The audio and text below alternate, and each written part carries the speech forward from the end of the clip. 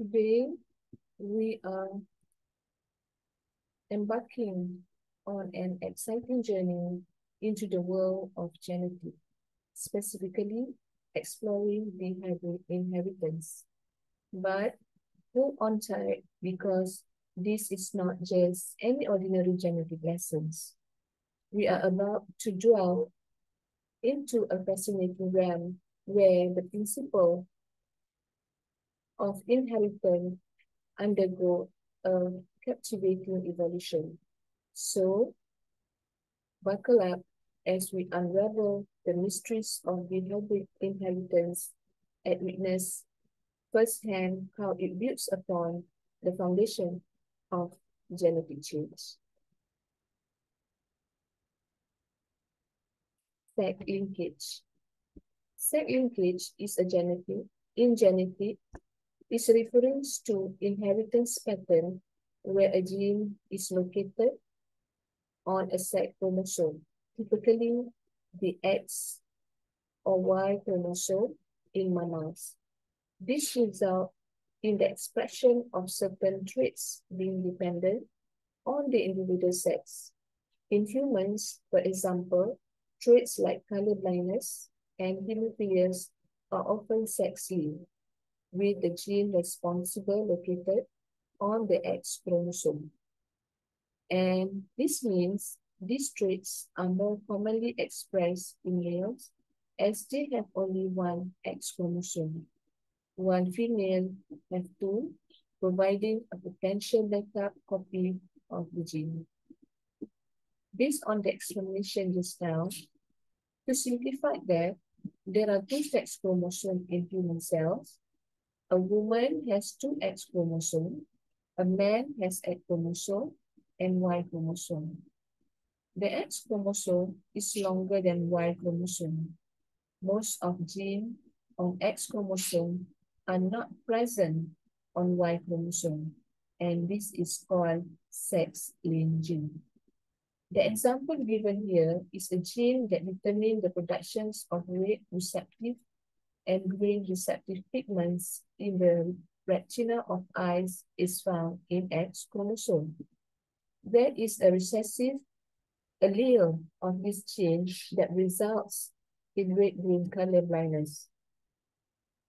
A woman that has two X chromosomes and two copies of this gene, meanwhile, a man has only one X chromosome, and thus he has only one copy of this gene. If normal allele is capital A, recessive abnormal alleles is small a, these are the possible genotype and phenotype. Genotype, we have X capital A, X capital A, which represent phenotype for baby girl with normal vision.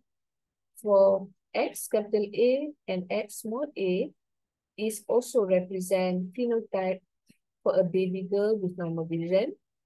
X small a and X small a is referring to phenotype with a baby girl with color blindness. And for the X capital A and Y is phenotype baby, baby boy with normal vision. And X capital A and Y is actually baby boy with color blindness.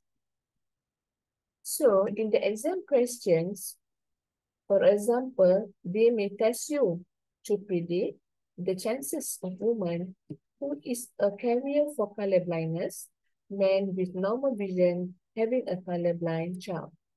What you need to do is you have to plot a genetic diagram. So you might have a parent's phenotype which is normal for a woman with a normal vision versus man with a normal vision. And then you need to have a parent's genotype. For the parent's genotype, for those women with a normal vision, is you have X capital A and X small a. And for the man with a normal vision, the parent's genotype will be X capital A and Y. And then after that, you need to plot gametes genotype. Gametes genotype is a circle and inside here is actually is actually the value that carries from the parent's genotype. For example, for the woman normal vision, you may have X capital A and X small a, and in the gametes genotype, you have to draw X capital A and X small a. And for the normal with the normal vision, where for the parent's genotype, you have X capital A and Y. So for the gametes genotype, you have to draw X capital A and also Y. And on the section of offspring genotype and phenotype, you may have columns, you may have rows and column. Is a row is actually represent woman normal vision. So you have X capital A and X small a. And on the column side is actually is always represent on the right hand side, which is in this case is a man normal with a normal vision where you have X capital A and also Y. When there is a combinations between X capital A and X capital A, so baby, what type of the baby during the offspring, they might have a baby girl with a normal vision. And when there is a combination with, with X small a and X capital A, you may say there is a baby girl with a normal vision. And same thing goes to X, capital A and Y. The combination will produce baby boy with a normal vision and X small a and Y. And you can see there is a baby boy with the color blind. As a conclusion from this genetic diagram, you can see that one in four chance a child born with this couple will be color blind boy. And one in two chance of any boy born with colorblind. Let's move on to Di-hybrid inheritance. Di-hybrid inheritance is the inheritance pattern of two different traits that are controlled by different genes loci. In other words, it involves the simultaneous inheritance of two pairs of allele for two different characteristics. For example, in this case, a breed of dog may have gene for hair color and leg length.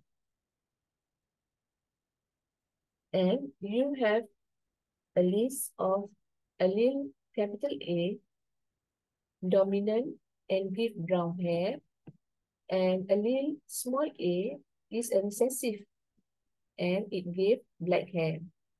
And you may have allele capital L is also dominant and give long legs.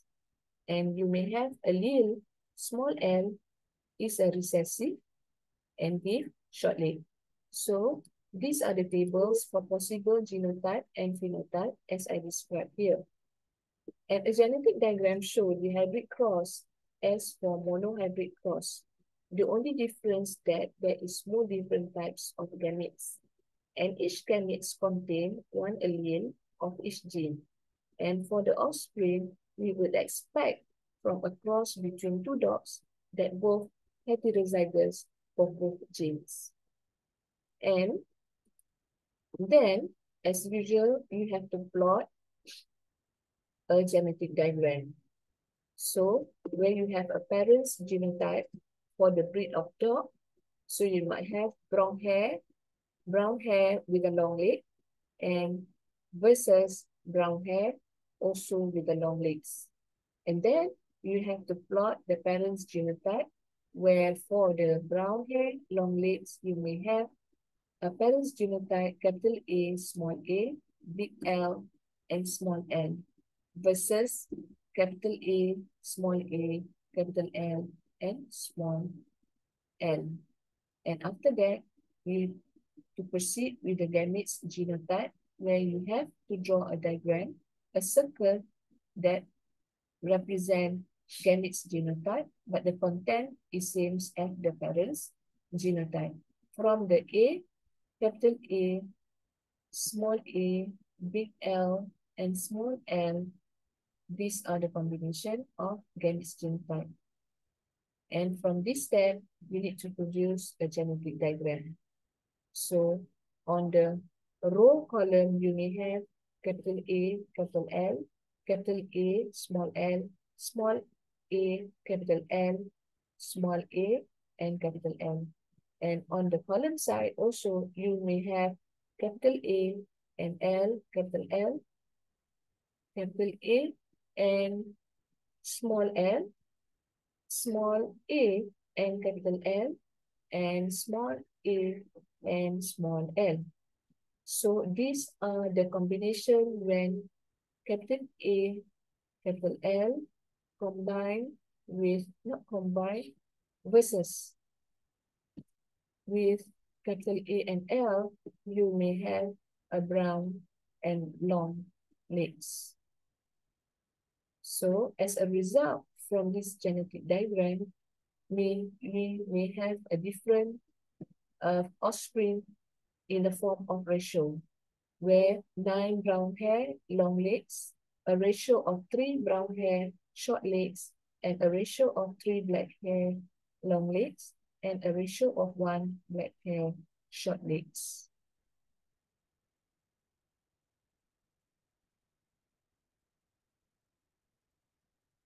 In conclusion, hope that you stay connected and informed by subscribing to our Joom Studyla YouTube channel.